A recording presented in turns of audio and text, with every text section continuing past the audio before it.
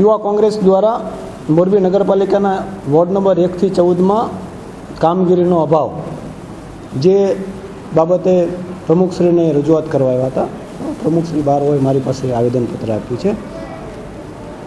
એ આવેદનપત્ર અન્વયે મારે જણાવવાનું છે કે મોરબી નગરપાલિકા દ્વારા ચાલુ વરસાદનો સમય હોવા છતાં સતત જે જે જગ્યાએ ખાડા પડ્યા છે, ત્યાં બુરવાની પ્રક્રિયા ચાલુ છે અને નગરપાલિકાના ચૌદે ચૌદ વોર્ડને ચાર ડિવિઝન કરી અને દરેક એક ડિવિઝનમાં ત્રણ ટ્રેક્ટર અને લોડર દ્વારા કચરો ઉપાડવાની કામગીરી પહેલી તારીખથી ચાલુ છે અને આજે પણ ચાલુ છે અને દરરોજનો અંદાજે સાઠ ટ્રેક્ટર કચરો ઉપડે છે.